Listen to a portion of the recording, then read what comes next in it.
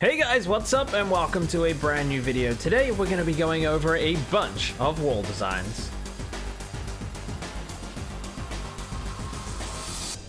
So guys, first of all, just a little tip for making very simple walls. As you can see here, the wall blocks now connect into a nice flat surface. They didn't used to do this. It used to just be these poles all along with gaps in it, and it used to look pretty terrible. But now it forms a nice flat surface with a little bit of an indent, so it gives you a nice detail. So you can do that pretty easy with these blocks here. And like I've done over here, guys, if you do want a pole in the middle or anywhere, you can just place a piece of string on top. It's barely visible, and it just uh, puts that in there. So you can do that anywhere you want, just like that.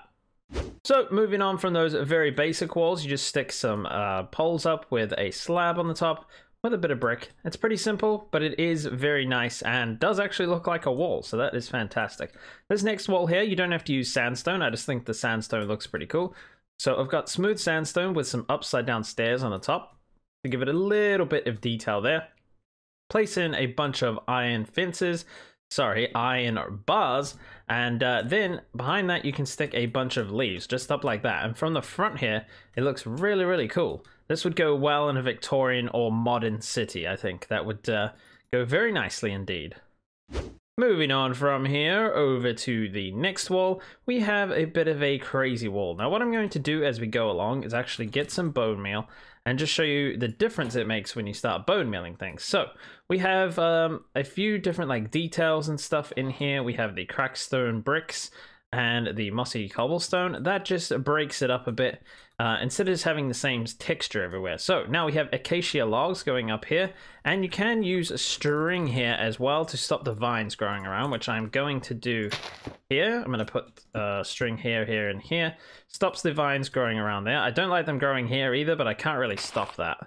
Um, so that's unfortunate. But anyways, uh, we have fire in there. We just have that on a netherrack brick, a netherrack block, sorry, and that will burn forever. Um, you got to be careful where you put wood near that. I think it's safe there. I'm not too sure. I play with fire tick turned off because I'd rather put fire in really cool places and not have it burn down my entire village. But yeah, and then you can just sprinkle in a bunch of uh, a bunch of leaves around. And yeah, like I said, you can place string down to stop this stuff growing wherever you don't want it.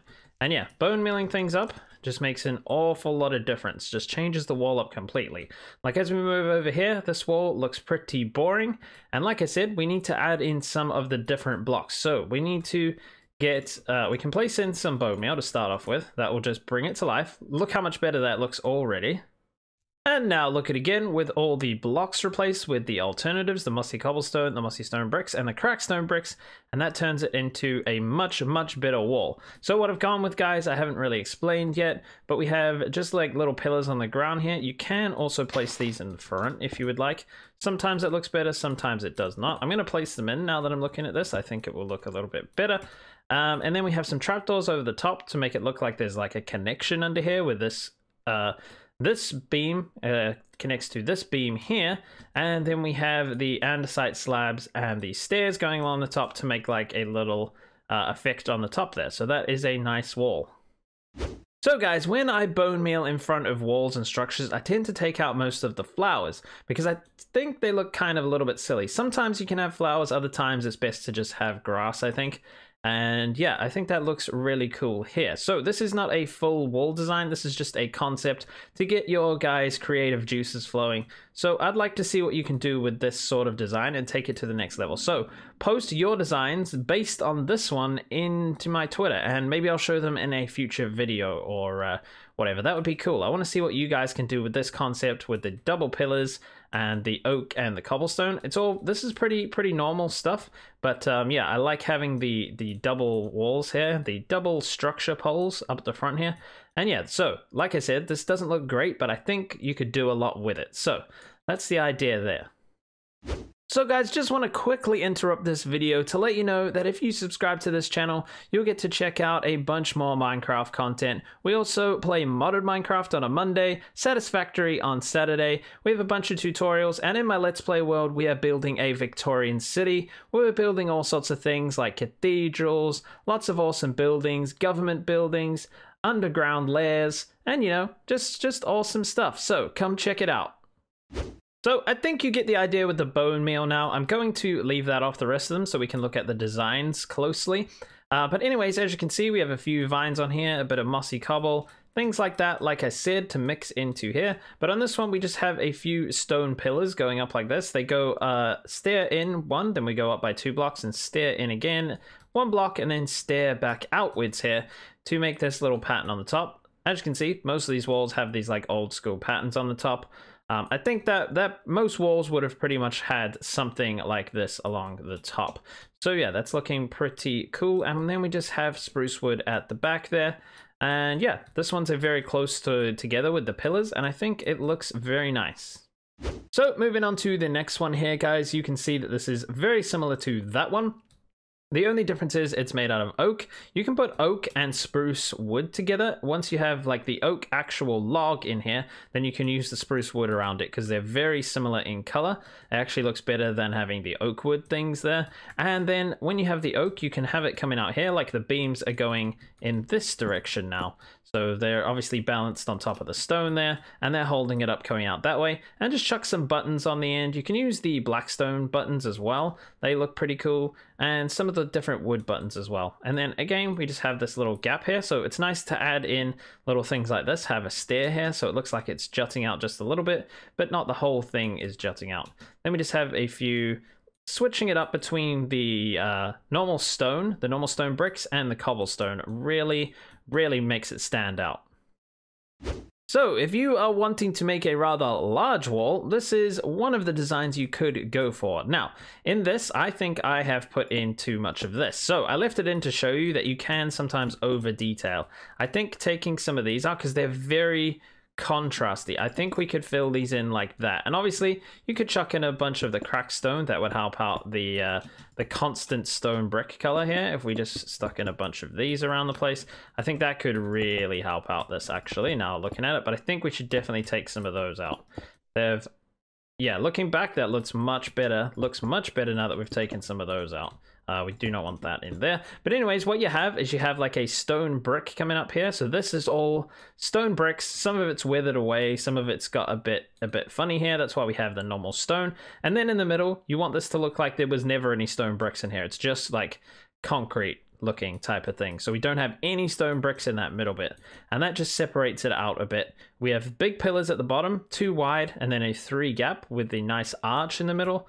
And then at the top, um, we've just gone along and on these ones here, we've put in little supports here for the top, and then you have full blocks and slabs to create the up and down pattern at the top, and I think that's pretty nice. Okay, the next two walls are a little bit interesting. Well, the, the one after this very interesting, but let's just go for this one. I actually really like this uh this blackstone. I've i am struggling to build with it but when i do i think it looks absolutely fantastic with fire and these soul lanterns. It just really really brings it together. So we have a random floor here just to show you because you wouldn't put this on grass obviously. Um, i think this would be in a very dark place and uh, on the sides here, we have the polished basalt for the pillars. And on top, we just have polished blackstone slabs. Then we use the blackstone bricks here to make the rest of this. And put a couple of stairs here. And again, with the netherrack on fire all the time, light it with a flint and steel. Then crack some chains in here with some soul lanterns. And just a bit of detail with the stairs here and some slabs on top of that. And it's looking quite nice. I think that's a really cool design. But uh, yeah, hold your horses for this one. So this might be one of the weirder things I've ever created. And the colors are just so interesting that somehow this works. If this was in some sort of theme park or Candyland or I don't know, in the forest, Hansel and Gretel, I, I honestly don't know. This is so super weird. But something like this could work, I think. Now, I just want to point out a few things. Again, with the trapdoors here, just making it look like there's something holding it in here, like maybe a little um, metal bar or something. Obviously, this doesn't look metal, but something um, strapping this into the wall, the pillars into the wall. We cap them off with the warped stem, uh, the warped slab, sorry, and the crimson stem here is what we're using for the pillars. Now on the back, I've just sort of randomized the stripped warp stem here. So you can just sort of go like this, place them all over the place, uh, just keep randomizing them. And then eventually you just get this sort of strange pattern. So that is not working for me. take them out, switch it out. That's not working for me either. Then I can switch that, do that. Yeah, and you just get like a random pattern like that to make it all look very interesting. But like I said, I don't know, I don't know if you guys will like this one. It's just a bit interesting. And we're back down to reality now, my friends. This one is just to show you a few ideas you can do. You can build up these like little walls in front of the major wall, like this. So right here we have the stone built up. Obviously, you want to put in the, uh, the, the cracked stone bricks and mossy and all that. That would look pretty cool.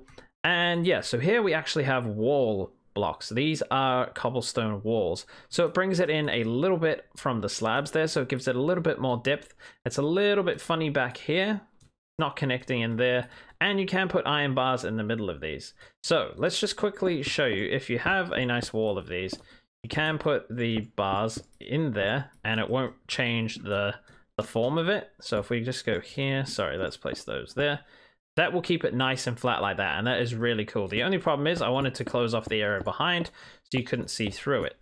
So i've had to put in a bunch of cobblestone around it at the back here which has created these actual like little pillars around here but it actually still looks pretty cool. Now on the top guys you have uh, more wood here spruce wood. Actually this is dark oak because the dark oak goes well with the spruce logs. Capped it off again with polished andesite. I think that's a really good capping block for pillars and then we just have this alternating slab and wall thing at the top here to give it a little bit more feature. And the best part about this, guys, is the uh, cobblestone stairs with a fence under it holding up the lanterns. I think that is really cool. One more thing I'd like to tell you guys about the wall is you can actually switch in random pieces of wall here, different walls. Like let's take the stone brick wall, for instance. You can place that in there. It looks pretty odd, but you can do it, and it probably does work much nicer with the mossy. I don't like it in this wall, but you can do it. And for the last two walls, guys, these are just small concepts to get the ideas flowing for you as well. Let's finish off with some high society walls. So if you were rich, you'd probably want to build your walls out of quartz, I suppose. I have no idea. But anyways, you can take the quartz pillars here. You can take the new quartz bricks. Well, they're not that new anymore, but they're still new to me. Um, and you can take some stairs, give it a bit of a, a rounded look here, make it flat, flatter at the bottom. And again, kept them off with a nice block. In this case, I've gone for smooth quartz. I think that looks nice. And if we move on to this last one, this one is also just a concept, but I actually think this could work very well. And so we just have a bunch of quartz on the bottom pillars, and then you want to use the chiseled quartz here, surrounded by half block gaps. And that is the thing that makes this wall stand out. On the back here, it's actually kind of hard to tell, but I have stripped birch logs behind there. And uh, I think that looks really, really cool. So guys, I hope you enjoyed this video. If you did, if it was helpful, please hit that like button. It would help out the channel a bunch. And also subscribe if you haven't yet. That would be fantastic. Thank you guys so much for watching and I'll see you in the next one.